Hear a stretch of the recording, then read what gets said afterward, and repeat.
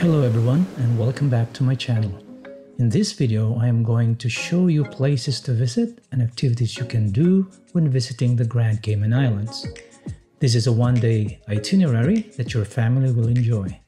The places and activities are family-friendly and enjoyable, especially to toddlers and of course the parents. Before I continue, kindly like this video and subscribe to my channel. It means a lot to me.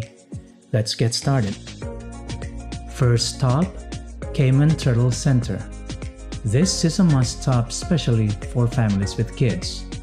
The Cayman Turtle Center is a conservation facility and tourist attraction located in the District of West Bay in Grand Cayman. First established in 1968, the facility was initially used to breed the endangered green sea turtle for commercial purposes. By raising the turtles in a farm operation, the turtle meat could be produced for local consumption without depleting the wild population of the species. Although still in operation as a farm for raising turtles in order to sell product, the Cayman Turtle Center has been developed into an important research facility and conservation facility.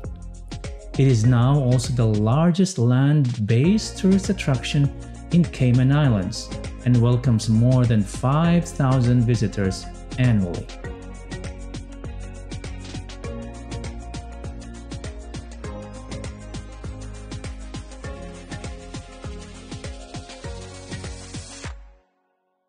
As I mentioned earlier, kids will enjoy the center because it has pools with a lot of juvenile turtles that kids can touch and even swim with them.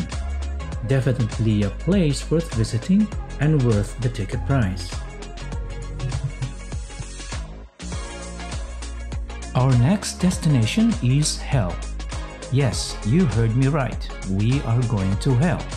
But don't worry, I am not talking about the biblical hell.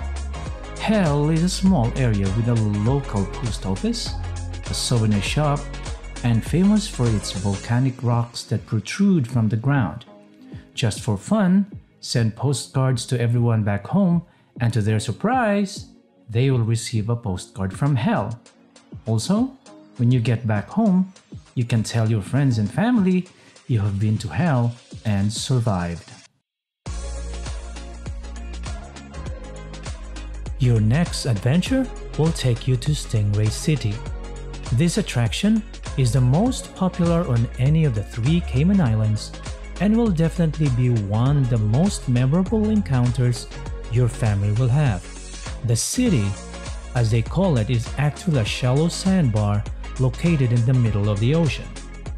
There are a lot of good operators on the island that can take you to the city. The only drawback to this tourist destination, since it is very popular is, it can get overcrowded. And that is what happened during our vacation. Nevertheless, we had a most memorable experience. When you reach the sandbar, you can in interact with and feed the wild Atlantic stingrays that live freely in those waters. These beautiful creatures will swim up, brush up against your legs and are not shy about making contact with you when the food comes out. A must do for family.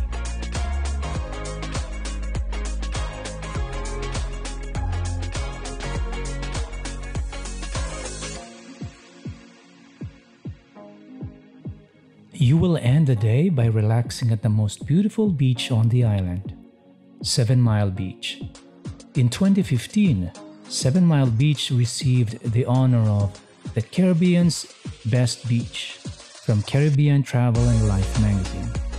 It is home to the majority of the island's luxury resorts and hotels like the Ritz, Westin, and Marriott, to name a few.